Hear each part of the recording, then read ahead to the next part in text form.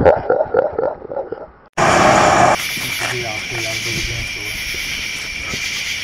said Booger Jim, he was real crazy, living in Cherokee Falls, and uh, said he used to walk around the street a lot. He never talked to nobody, but he had a family though, you know, like he had a wife and a kid. But people always said something wasn't right with Boogie. So one night there was a big commotion coming from down at his house, and they said that Booger had got something like in his mind that just just snapped, and he ended up murdering his wife. Him and his wife got into an argument. He murdered her, and then from them arguing and that commotion going on, the youngin was crying so bad, and he couldn't take that. So it's like he he killed the youngin too. And then when he snapped back into reality and realized what he had done, he went and hung himself off this bridge down here.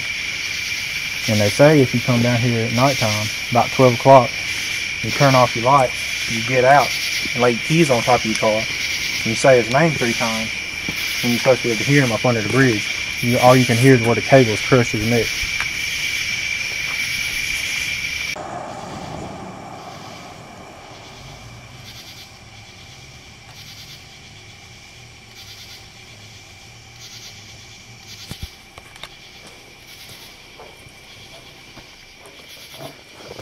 Hear me? I'm No, no, no, scared. I'm scared of you right now. Get it, get it, get it. Dad! You black damn it! Oh my god.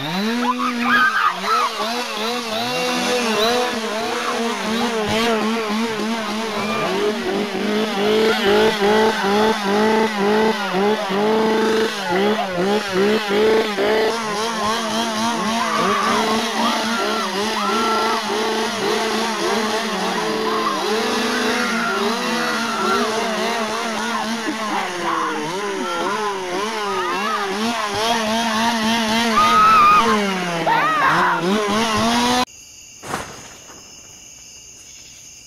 Mm-hmm.